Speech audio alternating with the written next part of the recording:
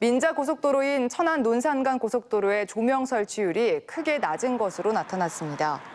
더불어민주당 소병훈 의원에 따르면 천안 논산간 고속도로는 총 연장 81km 중 조명 설치 구간은 26%인 21.3km에 그쳐 조명 설치율이 23%인 옥산 오창간 고속도로에 이어 전국 18개 민자 고속도로 중 두 번째로 낮았습니다. 소병훈 의원은 최근 3년간 고속도로 야간 교통사고 사망자 비율이 주간보다 두배 이상 높았다며 운전자의 야간 안전을 담보하기 위한 조명시설 설치 확대가 필요하다고 강조했습니다.